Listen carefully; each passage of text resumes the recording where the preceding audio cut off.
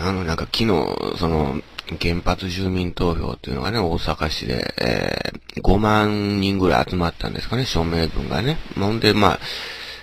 なんとかですね、えー、まあ、必要数が4万2千、えー、分、4万2千人分ぐらいの署名なんですけども、まあ、それが無効票2割入れても、えー、なんとか請求できるっていうことでね、まあ、良かったなと思ってたらですね、まあ、今日になって、ね、橋本市長が、大阪市のね、橋本市長がですね、えー、なんかこの、原発住民投票に5億円かける価値ないみたいなことを言ったっていう、えー、まあニュースが、ね、載ってましてですね、とんでもないやつだなと、やっぱりこの橋本っていうのはね、まあ僕は大体こういうやつだと思ってましたけども、まあ橋本が言うにはですね、まあ僕は脱原発派で通ったから、えー、こんなことする必要ないんだとかって言ってるんですけども、お前が信頼できないからこういうことやってんねやろ、みたいなね。そういう面があるだろうと僕は思うんですけども、まあまあ、その、なんていうか、これ橋本がね、まあ、脱原発って言ってるのはね、確かに言ってましたけども、別にそれが脱原発を争点にしたね、大阪市長選ではなかったわけで、まあこれは対抗馬のえ平松さんも脱原発って言ってましたから、まあどっちも脱原発であってね。だからそういうとこにこの原発住民投票の趣旨はなくてですね、やっぱり自分たちで、えー、投票させろっていうことを、えー目的にですね、この住民投票条例ですか、自治法にね、この法律にのっとって、えー、署名を集めてたわけでね、別にこれ橋本がですね、え脱原発だからとかっていうね、そういうところに意味は全くないんですよね。うん。だから本当にね、この橋本っていうのはとんでもないというか、やっぱり口先だけかなと。脱原発とかって言ってもね。うん。別に脱原発条例を出すとかね、そういうことは一切言ってないわけでね。うん、ただ関西電力に、えー、そういうなんか発送電分離とかのね、そういう提案をするって言ってるだけであってですね、まあ、この大阪市は、えー、関西電力の、えー、株をね、え約10%ですか、それをもって筆頭株主ですから、まあ、これはそれはそれでね、いいんですけども、これ平松さんの時も、平松さんもそういうことを言ってましたけどね。もう本当にね、この5万人のその、せっかくは一生懸命になってね、5万人分の、署名を集めたのにですね、そういうことを軽く、え無にするこの橋本の発言っていうのはですね、本当に集めた人たちにとってもですね、またこれ、えー、署名した人たちにとってもね、ほんとなんか許せないんじゃないかなって僕は思いますけどね。うん橋本が脱原発だからって言うんだったらですね、署名人たちはわざわざ、え署名しないわけでね。うん、だからこの住民投票の署名の意義があると思って5万人の方たちが僕は署名したと思うんでね。そういう軽くですね、こう人々、大阪市民のですね、その気持ちをね、まあ、無にするっていうのがね、やっぱりとんでもないなと思いますし、まあ、僕に言わせれば、あ、やっぱり橋本だったなと。えー、2万パーセント出馬ないから始まってですね、本当に嘘ばっかり、えー、言ってきたんでね、全然、不思議でもなんでもないなと、えー、僕は思いましたね。うん、だから本当この原発住民投票のね、その、に関してもですね、本当に5億円もかかるのかと。この、実施にね。だからその、そ、そこがそもそもね、僕は大きな疑問ですしね。うん。だから僕5億円もか、かかるんだったらですね、もっとその、かからないようなね、仕組み作ったらいいやんって思うんですけども、節約するとかね。うん。大体その住民投票っていうこういう民意をこの、測るものに対してね、高いとか安いとかって言ってんのがね、僕はおかしいと思うんですよね。うん。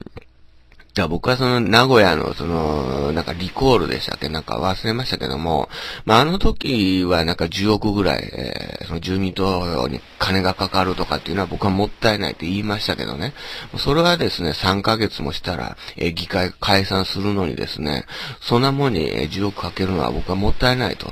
黙っててもね、解散するわけですから、もうそういうのはもったいないと思いますけども、この脱原発に関してはですね、大きな意義があると思うんですよね。それはやっぱり多くのマスコミが、えー、今回5万人集まったっていうことを取り上げてますし、やっぱり大阪市っていう、今注目集まってるね、その、大都市からですね、脱原発っていうことを発信するっていうことはね、僕は大切なことだと思うんで、決して5億円かける価値がないかといえば、全然そんなことないですし、うん。5億円もかからないと思いますしね。うん、5億円かかるにしてもですね、それはやっぱり大阪市民の税金でね、やるわけですから、その、で、大阪市民の、えー、この今回5万人がですね、署名してるわけですからね、全然無駄でも何でもないと思うんですよね。これこそ僕は民意だと、民意の一つだと言っていいと思うんですけども、まあ、そもそもですね、その、だいたいこれ橋本がやるかどうか決めるわけじゃなくて、これ大阪市議会が、えー、過半数の採決を取って決める話であってね、橋本がですね、えー、5億円かける価値ないとかでね、そう言っていい問題でも全然ないっていうことが、まあこれ一つですね。うん、だから大阪市議会がですね、まあ今後採決、えー、どうなるかわかりませんけども、それが判断する問題であってね。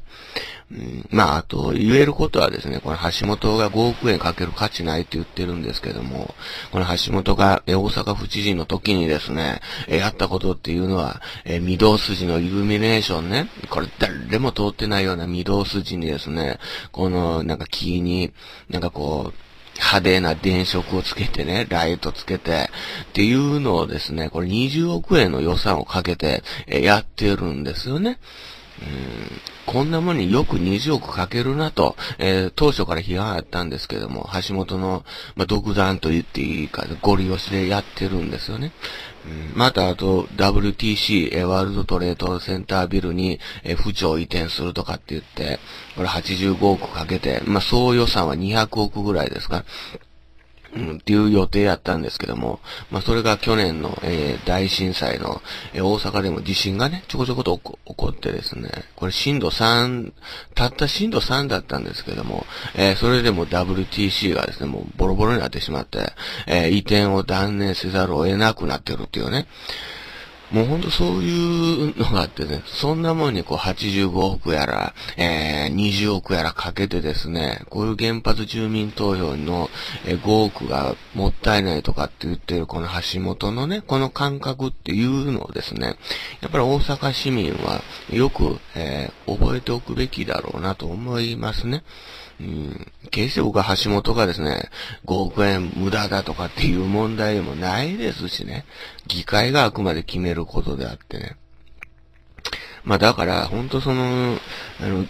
この議会、大阪市議会ね、議員でもですね、えー、脱原発にこう、盛んに頑張ってる人たちはいてるんですけども、そういう人たちがですね、どういう行動を取るのか、えー、この市議会のね、採決に対してね、それもしっかり見といてほしいなと、え思いますね。うん。な、本当なんかこう、軽くね、5億円かける価値ないとかって言ってる、えー、人をですね、に対してね、僕たちはどう思うのかっていうことが、えー、やっぱ問われるなと思いますね。うん、まあだから僕は言っと、言ったんですけども、やっぱ大阪市民ね、うん、やっぱ橋本に投票した人たちは、僕はやっぱ反省した方がいいんちゃうかなと思いますけどね。うん、だから今後ですね、こういうおかしいなっていうことを、がですね、どんどん起きていくと思うんで、うん、でやっぱり大阪市民はね、やっぱそういうのを、まあ、しっかり見ておく必要があると思いますね。投票した人たちっていうのはね。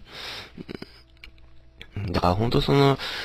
なんかね、その一時期のこう、熱狂っていうかですね、みんながこう、橋本さんに入れるから、みたいなことを言って入れてしまった人たちっていうのは、まあ、たくさんいてると思うんですけども、やっぱり、その後もですね、ちゃんと見ると、それで良かったかどうかっていうのをね、やっぱりちゃんと、判断していただきたいかなと、思いますね。